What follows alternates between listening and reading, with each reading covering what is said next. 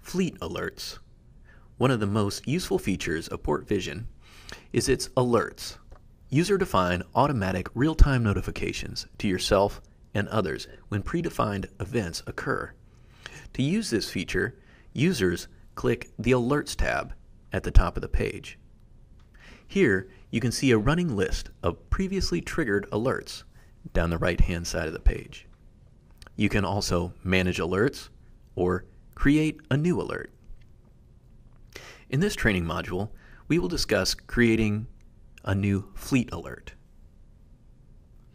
In this example, we will set up an alert so that when any one of our supply boats enters the port of Fourchon, we will get a fleet alert. A fleet alert is where we create a vessel alert that applies to an entire fleet.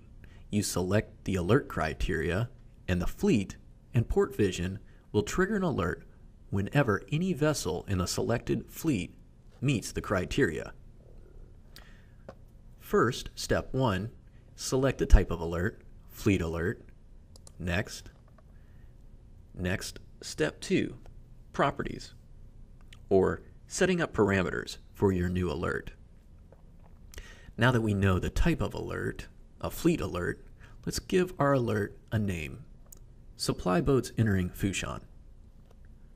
Next, we need to specify the target fleet for this alert. I've already set up a fleet called supply boats. We'll select supply boats. Next, we will need to specify an event to trigger this alert. We'll select zone entry, select specific user zone. I've already created a user zone around the port of Fourchon. So I'll select user zone Fourchon. Next, we will move on to step three, recipients. Who's going to receive this alert? You can add groups to receive the alert or add other PortVision users, other accounts to receive this alert. This is optional. We can make sure that we get the alert. Our account is PortVision 360 OK Training. We can also add an email recipient to receive this alert. Let's put in Mickey Mouse at yahoo.com. Next, how often will this alert be sent? Select once.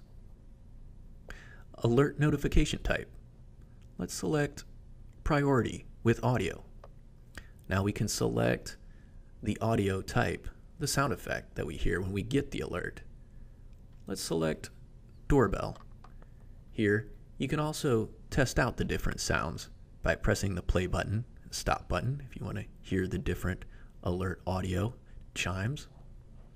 Then, select next, and it moves on to step four, summary. Here, you can make sure everything's set up okay, review all your alert parameters, and if everything looks good, press Save Alerts. And that completes setting up your fleet alert.